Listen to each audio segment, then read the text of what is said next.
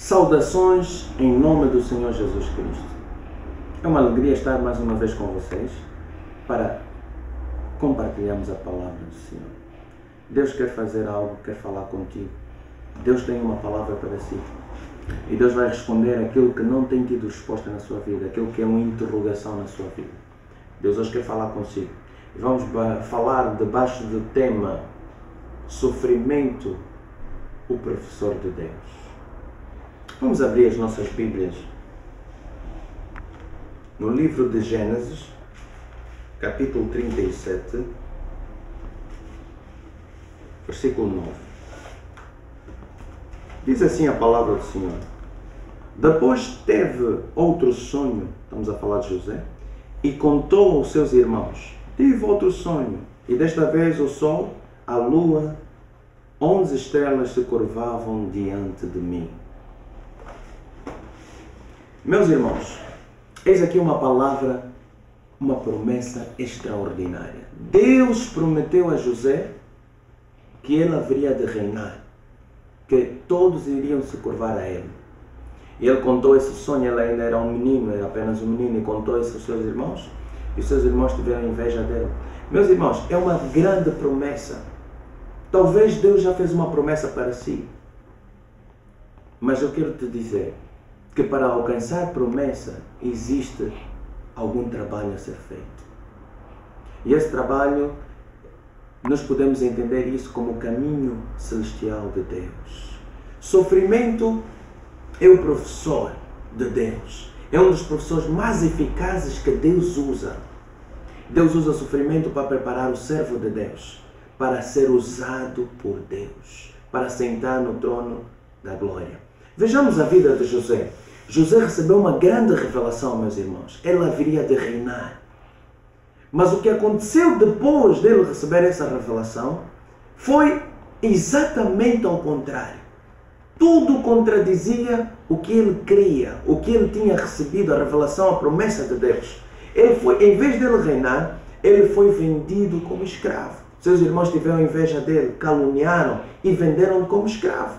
Ele foi e também onde ele foi preso, também foi incompreendido, foi julgado, foi caluniado, esteve na casa do seu senhor, também, exatamente na casa do seu senhor, ele foi caluniado, foi seduzido.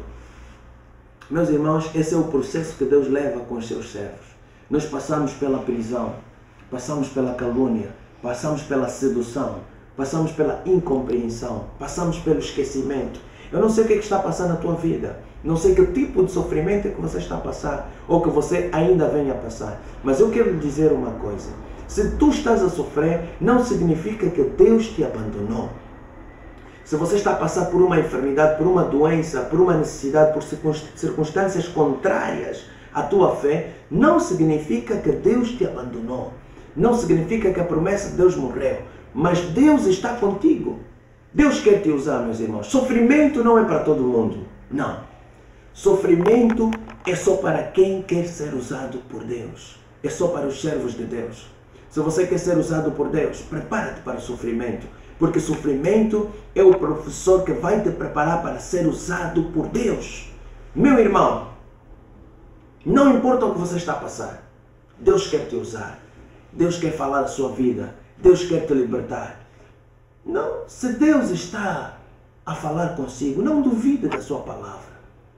Não duvide da sua palavra. A Bíblia diz que Jesus Cristo, embora sendo filho de Deus, ele também passou pelo sofrimento. Ele foi aperfeiçoado, aprendeu a obediência por aquilo que ele sofreu, por aquilo que ele padeceu. Isso significa, meu irmão, que o sofrimento prepara alguém para reinar. Meus irmãos, se você está a orar e não aconteceu nada, você tem duas opções: desistir ou persistir.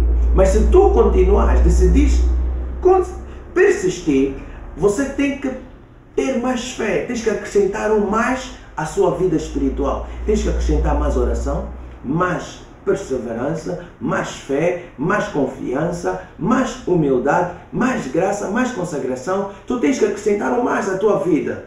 Meu irmão, se ainda não aconteceu o teu milagre, se ainda não recebeste, se estás a passar por uma necessidade que você não está a entender, sofrimento que você não está a entender, tudo está a contradizer aquilo que você crê. Tudo está a contradizer as tuas expectativas. Tudo está a contradizer o teu sonho em Deus. A tua promessa de Deus. Tudo está a contradizer. Meu irmão, escuta a palavra do Senhor. Se você está a passar por uma necessidade, por um sofrimento, e você não está a entender, eu quero te dizer, Deus está a dizer alguma coisa ainda no silêncio. Ainda que você não compreenda, ainda que você não escute nada, Deus está a falar alguma coisa através do teu sofrimento. Deus quer te aproximar mais. Deus quer que você se consagre mais. Meu irmão, veja a vida de José. José não tinha maturidade para sentar no trono quando ele recebeu a promessa. Ele não tinha maturidade não tinha é, perseverança, não tinha confiança, não tinha é, uma autossuficiência em Deus, ele não confiava plenamente em Deus, ele simplesmente tinha um sonho. Meu irmão, ele não estava preparado para sentar no trono. Se ele sentasse no trono quando recebeu a sua promessa, ele iria destruir o povo de Deus. Mas Deus teve que lhe preparar o sofrimento que ele entrou, a prisão que ele entrou, a calúnia que ele entrou, é, a, a, perseguição, tudo que fizeram contra ele, foi tudo plano de Deus para preparar para ele sentar no trono da sua glória.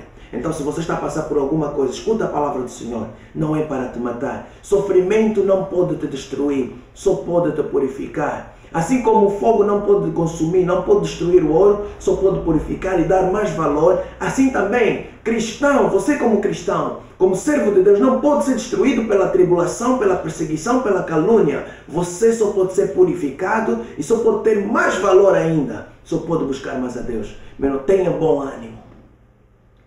Sofrimento é o professor de Deus. Tenha paz no sofrimento. Esteja calmo. Esteja determinado.